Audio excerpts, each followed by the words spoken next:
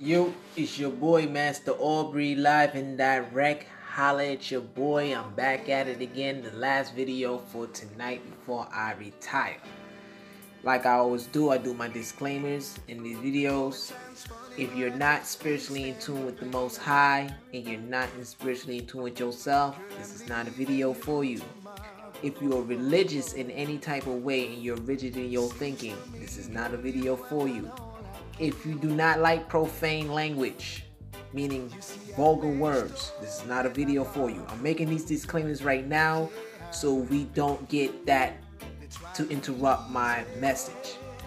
Topic of this video is called the righteousness of God, a spiritual currency and virtue in man's aura. I wrote a lot of notes on this. I was in meditation. The Holy Spirit broke this down to me I'm gonna break it down to you guys, nigga man style, like I always do.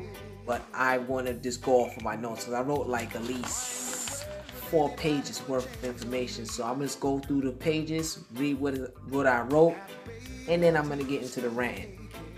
All right, so in Romans 4 verse 3, it says, "For what does the scripture say?" That's a question. Abraham believed God and it was counted to him as righteousness. What I wrote in my notes is righteousness is equated to life. So righteousness is life. It's a life force, it's a currency. So it says to be righteous in God is to live is to have and to live an eternal life. So the righteousness in God is to have eternal life. Self-righteousness, which is man trying to be self-righteous, in and of itself equals no life. For it says it in scriptures, it says, For all has sinned and fall short of the glory of God. No man on the face of this earth, planet earth, is righteous. Meaning that we all sin. We were born into sin. We were born into spiritual bondage, right? The only way we're getting out of this bondage is by accepting the Christ within, which is who? Jesus Christ. You understand? Accepting the truth for what it is, accepting your situation, right? Self works have no life in them because it praises idols and make idols out of people, places, and things, and it does not serve the true and living God. So when people do stuff by self works, you do rituals, you give praise and worship to other deities.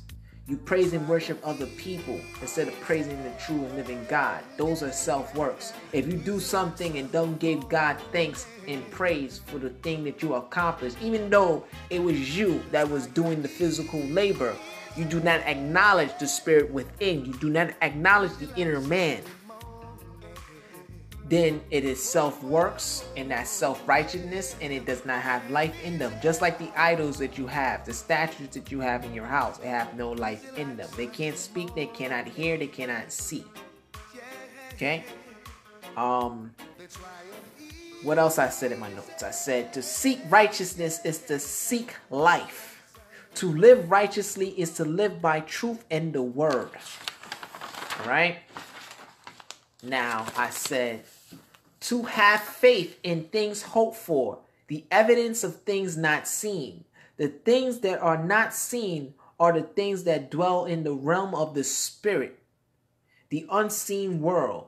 Dreams reflect on things hoped for, i.e., God's promise to Abraham about being the father of many nations. God had given Abraham a vision, and he told him in the vision that he will be the father of many nations.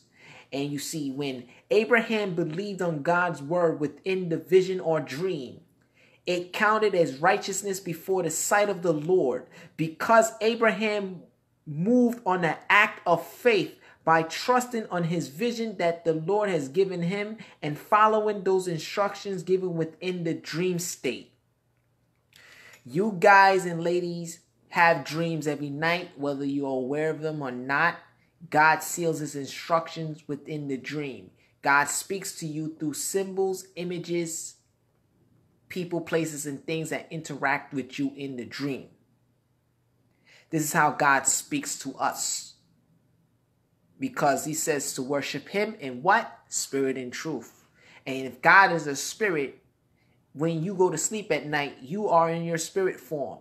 That means you could converse with the Most High, have one to one conversation with the Most High. When the Most High explains to you what's going on in your life, He's planting the seeds of what He wants you to do. Is either you recognize those things in order for you to inherit the kingdom. When you recognize those things within the dream, you understand the vision, you understand what God is asking of you to do the instructions planted in the dream, and you believe wholeheartedly in that, then that's counted as righteousness because that's an act of faith. Okay, so when Abraham believed on God's word that he would be the father of many nations and that he was supposed to get with Sarah and out of his loins will be he will birth many nations. And Abraham believed even though he was a 90 year old man and he's like, I can't give birth. Most people will be like, oh, I'm 90, man. My shit is dried up. But Abraham believed on God. And when he believed that God could do the impossible because he was a 90 year old man. You feel what I'm saying? He believed that God could do all things. That counted as an act of faith, which is righteousness in the sight of God. Okay? Now, my next notes. Spirit is life, and the Spirit gives us life in the dream when He seals His instruction in our hearts through symbols and images shown to us in the dream state or in meditation, i.e., alpha state. When you guys are meditating in alpha state, God is sealing, sealing his instructions in your heart through images and symbols. When you are meditating, you're seeing these images flashing across your subconscious. That's God showing you things. He's speaking to you through images and symbols. He doesn't have to speak with words. Because you have different voices. You have ancestors speaking to you. You have spirit guides speaking to you. You have different beings speaking to you. But the voice of the Most High is unique. And when you start to develop a relationship, a personal relationship with God, you will hear the voice of the Most High. Because he says it in the scripture, he said, My sheep would know the name, he, my sheep would know the sound of my voice. My sheep know the sound of my voice. I've heard the voice of the Most High. I acted on faith plenty of times. See, my house is a representation of mm-hmm. acting on faith. You see, because I acted on faith when I asked God, what can I do to save up? What can I do to get a house? Spirit said, save four thousand dollars.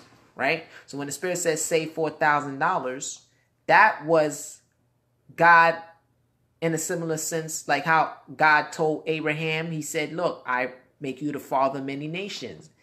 So put me in the shoes of Abraham. I'm going to God and I'm saying to God in the dream, God, how do I live on my own? How do I survive on my own? What do I need to do? What are the things? God said, simple instructions $4,000. He ain't say go play lottery. He ain't say do all this extra shit. He ain't say go borrow money from somebody. He says save. I took that instructions in my heart and I followed through, meaning I got a job. If not, I was already at a job. I started saving. I started saving the amount that he asked for. He and I didn't save any more and I ain't save any less the exact amount. God is always dealing with exact. When I got to the 4,000 mark, God did the rest because that was an act of faith. It counted as righteousness in the sight of God because I followed the instructions of what the Most High placed in my heart because I wanted a place to stay other than the place I was staying at. God opened the door. It played out perfectly. Everything moved smoothly because God make the crooked path straight. I've told this story so many times in previous of my videos about how I obtained my house, but I'm showing you how I obtained my house through the currency of righteous living. How I obtained what I wanted through the act of seeking the kingdom first and his righteousness. All right? No, now let's continue. It says, when we receive this in our subconscious mind as being true, then we have received the good news, the gospel, or the word. All right? So when you receive the instructions of the Most High in your subconscious mind through the dream state or in meditation, in an aha moment, you have received the good news, you have received the gospel, and you received the word. When we allow the seed or the word of God to grow in our lives, then that is the fruits of the spirit, which is the physical manifestation or the end result of things hoped for, evidence of the thing not seen, which is what? Faith. Faith in its final transformation. Faith in its final phase is the fruits of the spirit, physical manifestation.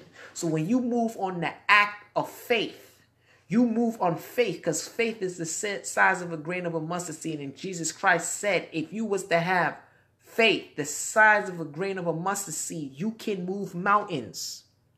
This should be applied to anything you do.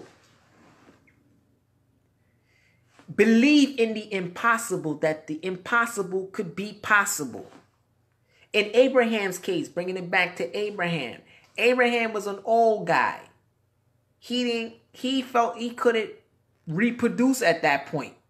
You feel I'm saying? Because after a certain age, guys, we can't reproduce anymore. You understand? Women at a certain age, they go through menopause. They can't re reproduce anymore. You understand? So let's keep it a hundred. The physical body is designed to dis- be destroyed. The physical body is designed to go through different metamorphosis. The physical body is designed to do a certain thing within a certain time period. So in Abraham's logical mind, he thought that it could not be done. But he moved beyond logic. See, the things of righteousness, these positive virtues, these spiritual currencies, go beyond human logic. He knows how old he is. He know that that's not logically possible. But he's putting faith and trust in a higher power greater than himself to say it is all possible through Christ. Mm-hmm. It is all possible through what God has shown me in his dream. If he said he's going to make me the father of many nations, to a logical person, like, nigga, you pulling my leg. You're pulling my leg. But in this situation, God is not pulling your leg. God is telling you what he's trying to do through you, the vessel. Now you either accept that or you can reject that. If you accept that, it counts as righteousness. It counts as a currency. That currency goes into your spiritual bank account. That spiritual bank account is what adds to your kingdom when you leave from this world, i.e., through the physical death. When you become a spiritual being once more, because you're already a spirit in a physical body, when you leave the house, which is the physical body, your spirit leaves that physical body, you have to go into another body. And that body is called your astral body. And you be in the astral world. Now you're living a different life than you lived in the physical world. If you did not prepare yourself right? Through this life to prepare for the next life, then you won't have shit in the next life because you have not saved your money, meaning your spiritual currency. Because we're dealing with physical currency. Our physical currency is coins, bitcoins, the US dollar, money. That's the worldly currency of this world, third dimension. But what is the spiritual currency of the spiritual world? your virtues, faith, righteousness, love, compassion, forgiveness. These are positive virtues of the spirit, hope, joy, happiness. You understand? These are virtues, these are spiritual currencies that you use in the spiritual world. The enemy knows this. That's why it's called selling your soul when you sell out for worldly things because you're exchanging a spiritual currency for a physical one. And what did Christ say in his word? He said, if you try to save your life, you will lose it anyway. But if you die for my sake, you will gain everlasting life. Now, what does this mean metaphysically? Let me break it down, nigga man style. When you move on the act of faith, you don't sell out for physical things. You keep your spiritual currency because you know that this physical life is just short lived for how long you live, right? But when you leave this world, you know you have amounted and you have saved up. It's just like if you work at a job for so many years and now you're ready. It's like 30 something years you've been at this job. Now you're ready to leave. You have built up a currency. You have built up retirement funds. You have built up with your 401k, your pension, all of those things. Feel what I'm saying? Now you have money to live off of for the rest of your life or how long you live. You'll be receiving a check for the rest of your life after the job you left. But if you haven't built your 401k, you haven't built your your your saving funds or your life insurance, what's going to happen when you leave that job? You want to be able to survive. So that's the same thing that happens when you go to the spiritual world. If you don't build up these positive virtues, you don't build up righteousness, you do not build up love, joy, forgiveness. When you go to the kingdom of God, which is the spiritual world, the higher level realms, you have not built up a kingdom there. So therefore, you do not belong there. You belong in the lower realms, the lower planes, the hell realms. I'm giving you a metaphysical, logical, down to earth understanding of how the spiritual world runs. I've went to those higher level realms. But guess what? I can't be there. Why? Because I have not built up enough currency there. I could probably be there as a field trip and I could come back and tell you that yeah, I had a good time being in the Hamptons. I had a good time being in Hollywood, but I cannot live in Hollywood. Why? because I have not built currency there. So the same thing applies to the spiritual world. If you don't have spiritual currency and you have not built up spiritual currency in the spirit world, you can't go to heaven because heaven relies on a different currency than the physical earth. You have built up your whole mind all this time to rely on physical things. You have not built up your mind to rely on spirit. So bringing it back to Abraham, where Abraham believed on God that he will be the father of many nations, he had built up spiritual currency. Therefore, when he left this world, he could leave in peace because he knows he has a kingdom in God's kingdom. Because he said, In my house, my father has many mansions. Now Abraham has a mansion within mansions. You get what I'm trying to say? You got to understand this shit. I'm trying to get you guys to understand this. Not looking at it as salvation from an external source, but understanding this from a metaphysical point of view. All right?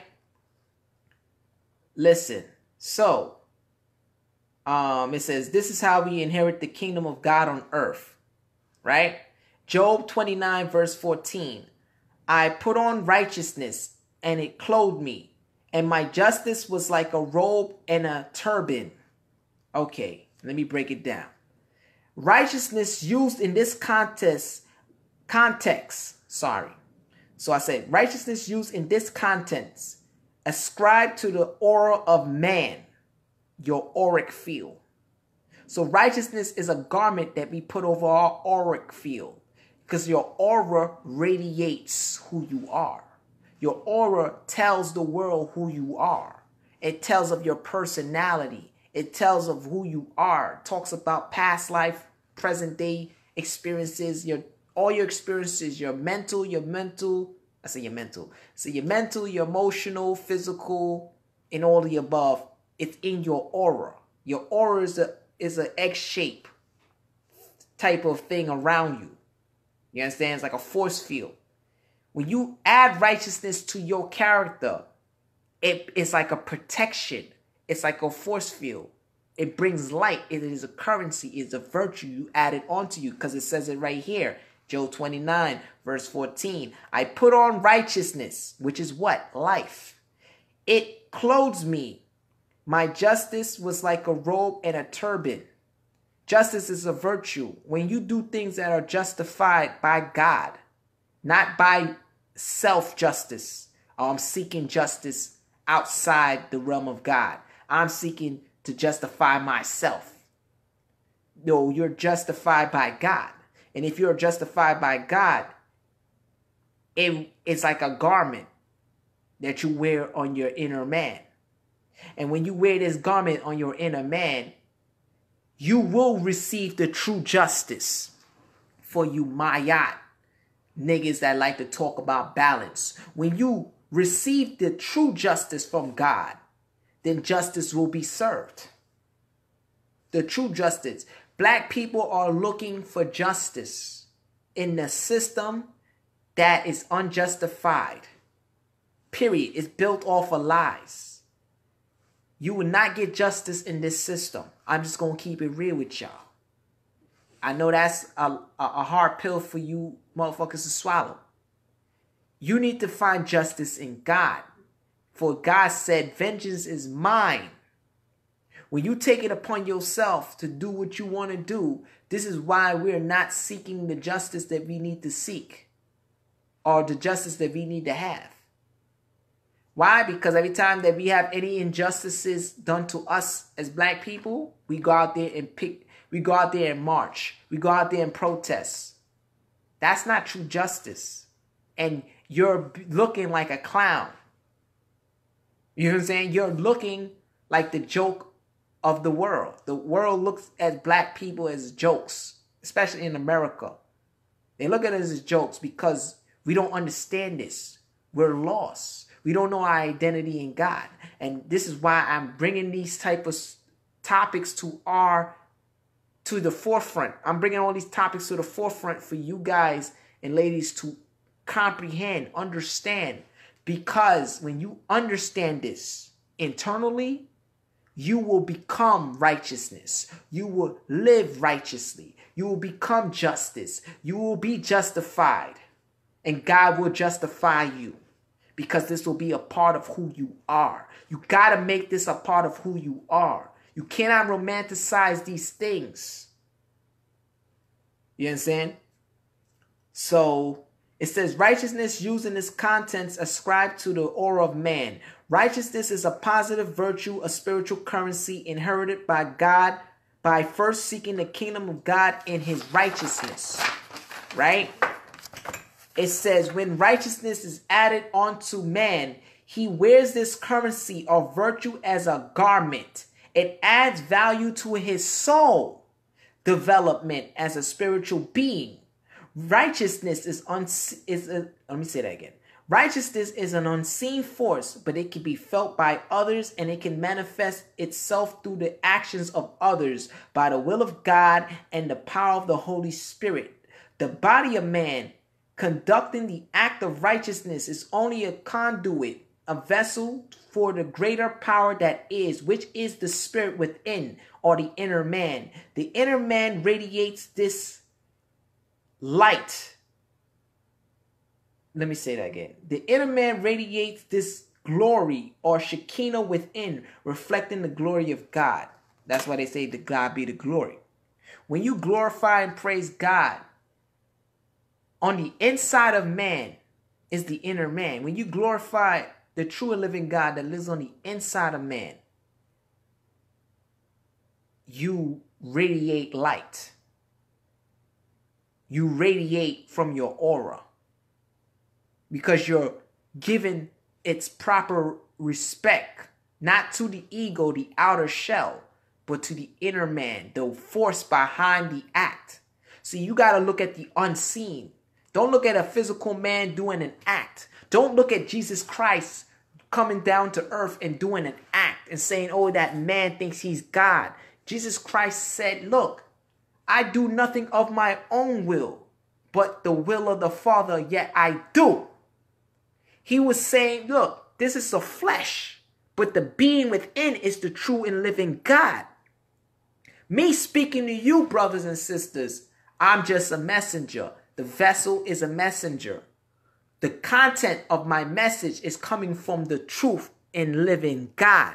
The scriptures that I'm quoting is coming from the true and living God. You get what I'm trying to say? I do not take credit for this video. I don't care if you don't like this video. Why? Because I'm just the vessel putting the message out that's coming from the inside force, which is the inner man. I need you guys and ladies to understand that. So, bringing it back to that video where I talk about tithes and offerings, and I said that when you rob from the storehouse of God,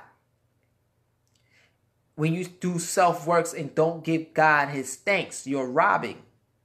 You rob God of his righteousness when you become self righteous. You rob God of his glory when you are looking to get praise and validation from this fucking place. I'm, just keeping it real. I know the shit that you niggas don't want to hear. But this is why you are lacking in your spiritual development as black people. We are very spiritual beings. I would give us that. But you see, we're so hardened of ego. We're so hardened of hearts that we cannot perceive the true reality because we are convinced in ourselves that our reality is the ultimate reality and there's no other reality outside of our reality. And I told you guys in my other video that perception Anybody can have a perception. My perception is different from the next man's perception. But that does not mean it is reality. It's just how I am perceiving the reality and how he or she is perceiving the reality. But reality is reality. And if you can accept reality for what it is, then you cannot be set free from this reality. Just keeping it real with y'all. And there's certain rules and protocols and laws you guys got to understand. Righteousness is a virtue. Righteousness is a currency. Righteousness is something that you are building up in your character, your soul has value. You build value to your soul. That's why it's called selling your soul.